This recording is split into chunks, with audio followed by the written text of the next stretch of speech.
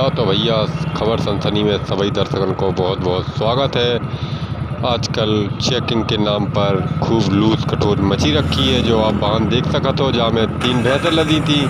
काफ़ी देर सौदा होने के बाद एक हज़ार में सौदा पटो और श्रीमान जी एक हज़ार रुपया लेकर चलते बने।